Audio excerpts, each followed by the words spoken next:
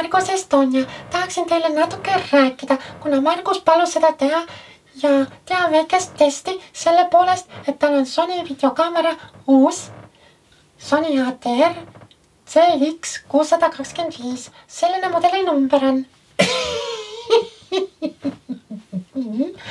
ja täna teeme me mikrofoni testi, see tähendab, et suur mikrofon on selle Sony videokaamera taga, see uus kaamera, mis tal on, et äh, ta tahab sellist testi teha sellepärast, et äh, sellel kaameral on ka see liides olemas, kus see mikrofon külge käib. Ja see kõik on niimoodi, et seal saab ka ühendada ka erinevaid mikrofone, näiteks sellist, millel ei ole juhet ja sellel, millel on juhe kas see äh, test ja kuidas see test välja tuleb, seda näeme pärast. aga tahaks teile öelda, et selle testi äh, mõte on selline, et seda mikrofoni äh, tundlikkust testida uuel kaameral, sest kõik kaamerad on erinevad ja erinevalt võtavad Zoom mikrofonidega. ja see on Zoom mikrofon, nagu te teate, see on Rodeo Rodeo videomikk ja. Mm, -hmm. ja see on Rodeo videomikk, Ricote eh, suur mikrofon, tal on teine Rodeo ka. Ja. See on, see on selline teistsugune, seda ma võin kohe teile näidata ka. üks hetk. see, see on selline äh, rode, mida mikk ja sellel käib ka see ära siit näed. see, see, selles suhtes on see hea, et sa ei vaja akusid ega midagi selliseid asju, lihtsalt ühendad ära ja nii ongi.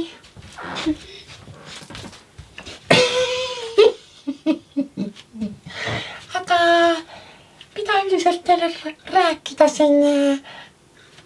mina, Anselina Pärlina Margus Estonia. noh esinen vahepeal, teen igast huvitavaid asju, aga ma olen ka välja mõelnud igast huvitavaid tantse, mida ma olen vahepeal tantsinud. Teile ma küll seda ei saa näidata, sest see on mul pooleli, aga selle tantsu nimi on noh, mis te ise arvate, ma, ma natuke annan teile mõistatada, selle tantsu nimi on selline klassikaline nimi, mis alati ballettide puhul töötab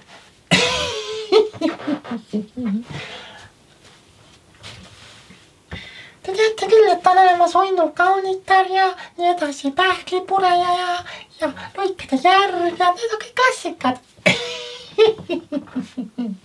aga ega mina ei ole mingisugune kuulus balletimeister siin. ma olen lihtsalt baleriin nagu te kõik teate mm. -hmm. ja mina tahaksin öelda, et äh, mina mõtlesin välja uue tantsu, mille nimeks on lihtsalt selline ilus.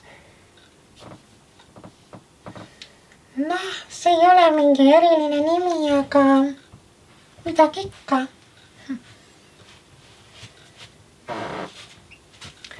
selle nimi on päikseloojang hmm.. Te kujutate ette seda tantsu hmm.? kuidas päike loojub ja kuidas need värvid mängivad. kõik see muutub kokku oranžvärviga ja mul on, nagu te näete, roosa. aga mis on roosaga seoses?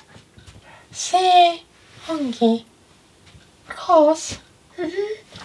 aga roosid roosipõld ja päikseloojang. see on kõige ilusam asi, mis võib olla kuskil maal, kus need on, on. ja mina arvan, et see päikseloojangu tants on selline ilus tants, mida ma välja mõtlesin, kus siis äh, osa tantsijad tantsivad siis or oranžides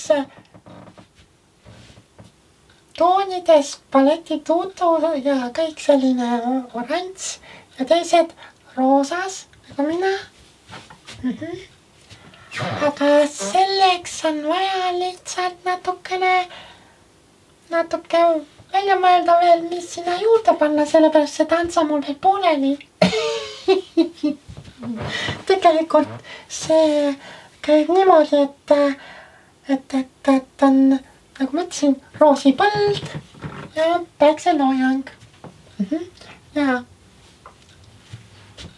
ja muidugi puudu seal ka sellised äh, imekaunid hetked, mis päikseloojangule aset leiavad. see on alati nii armastus ja see kõik on kõik kokku pandud ühte lukku ja see siis on päikseloojang. ja selline tants. aga mul tuli üks teine mõte, tegelikult selle nimi võiks olla veel hoopis teine. armulugu. jaa, sest kaks armuvad seal päikseloojangu saatel ilusti, kenasti rooside keskel. see on nii kaunis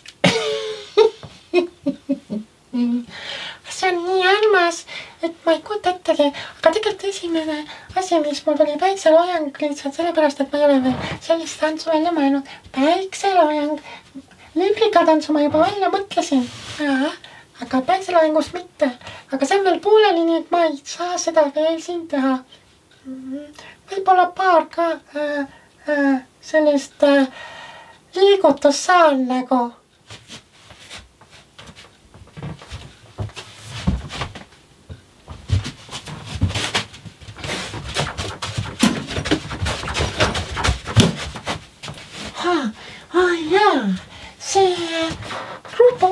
on siin nii kitsas, et siin ei saa niimoodi tantsida nagu vaja oleks koper on igale poole otsa ja mm.. Ah, ja, ja selleks, et tantsida, tuleb ikka laval olla mm. -hmm. aga no see piuglemine oli ilus ja see piruett ka, äh, piruett, on ka nii kaunis kõik selle värvi saatel, see, mis mina siin näitasin, on natukene üks väike osa ainult. see on nii armas. On küll, aga minu, minu, minu kõik need balletiliigutused, tantsud, sammud. Need on nii armsad. uskuge mind ja see oli mu testi sihuke video, mis ma mõtlesin siin nüüd teile natuke rääkida üht-teist põnevat. kuigi see, mida ma teile siin praegu rääkisin, sellest balletist ja sellest, see ei ole veel üldse kaugeltki valmis, alles ma alustasin sellega. ja ma lõpetan sellega mingi aeg, aga mitte kohe praegu, aga no ei saagi praegu ju seega läheb veel tükk aega balletitantsuga niimoodi, et kui sa sellega tegelema hakkad, siis tegeled ja tegeled. aga kui sa ükskord lõpuks valmis saad siis on hea, nii armas esitada ja, ja aga see, mida ma teile näitasin, tegelikult on mitmes värvis. Näeb välja, see üks osa oli, mina näitasin, see oli mina olin roosas, aga tegelikult seal mitmeid erinevaid värve, sest päikseloojang pakub seda oranžvärvi hästi palju ja, ja kõike muud ka sinna juurde aga tore oli teiega rääkida. Ehm, Margus palub teid tervitada ja ütleb kõike ilusat teile. ja taas minu poolt ka armast ilusat õhtupoolikut teile, kõike ilusat teile sinna. ja tšau. jah